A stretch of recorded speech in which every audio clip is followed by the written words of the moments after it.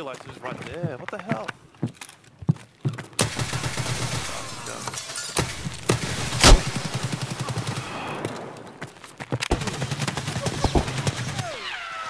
What the fuck are you doing over there? Oh, fuck.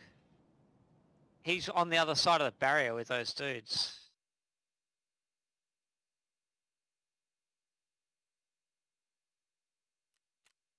He's in that room, same guy we're shooting.